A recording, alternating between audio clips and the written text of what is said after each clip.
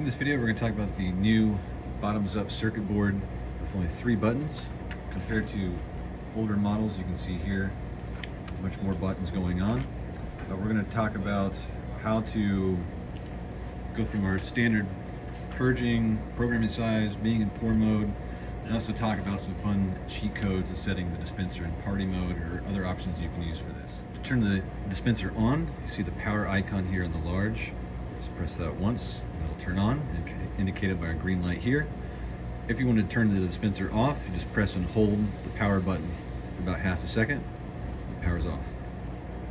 You'll notice that there is a little flashing green light. It's sort of our standby mode. If you have a long draw system, meaning you have kegs stored in a separate keg room, there's a longer run to the dispenser, uh, you also have our empty keg detectors on the wall mounted panels. Uh, you'll notice that this circuit board here is attached to a kegerator, it doesn't have those empty keg lights, uh, but you will have a circuit board that will have the flashing lights there available as well. With our dispenser turned on and our keg tapped, we need to get a little bit of beer through the lines, so we need to purge the line. So to go into purge mode, you're going to press the small and medium button at the same time. You see that both of those lights are lit up as well as this one here. That means we're in manual mode or purge mode. So what you're to do is press down on the slider magnet on your cup coupler. No liquid's to come out unless we tell it to. And then to get liquid out, we can press any button here. I just hold this over here just to keep any spray from happening. I'll just press the S button. Wait till we have beer, clear beer coming out. Looks pretty good to me. Press again to stop it. And now we've purged the system. To exit purge mode, just press the S and M buttons at the same time. Now you're back to this one light here. That'll let you know you're out of purge mode. To program its size, just select whichever size you want to roll with. I'm going to go with medium here hold the medium button or whichever button you're going to be programming and push down on your vessel then release when you're at your fill level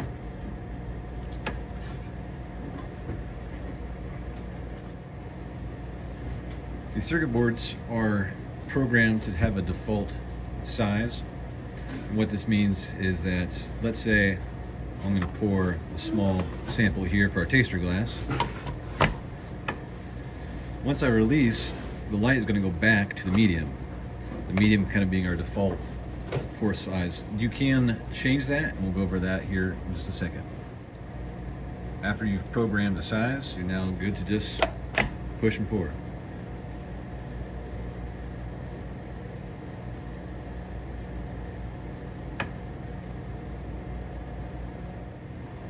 You notice there's also an error light here in the upper left corner.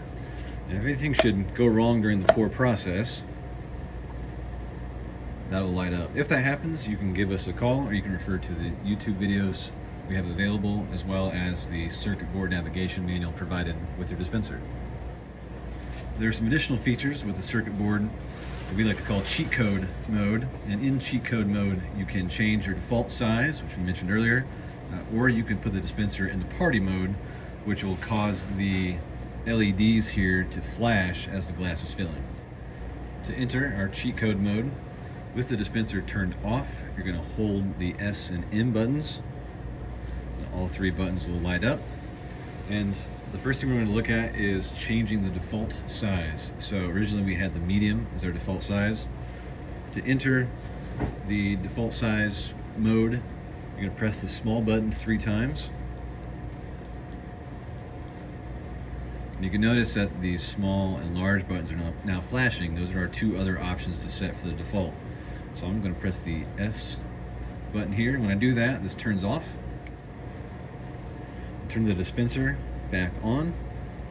Our S is lit up here. So I'm going to do a medium pour real quick. And you can stop the pour anytime by pressing any of the buttons. Do that. And when I release, our default size is small, so it goes back to the small.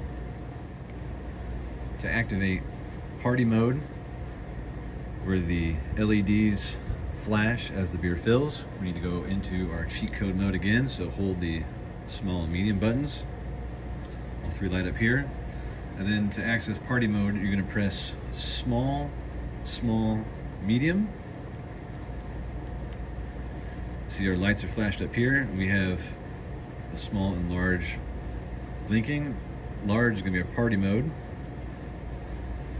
Once we turn this on, it's flashed like that.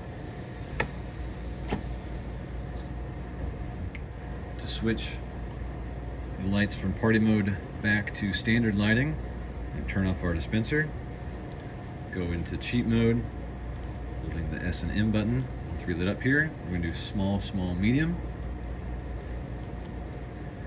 Press S for standard.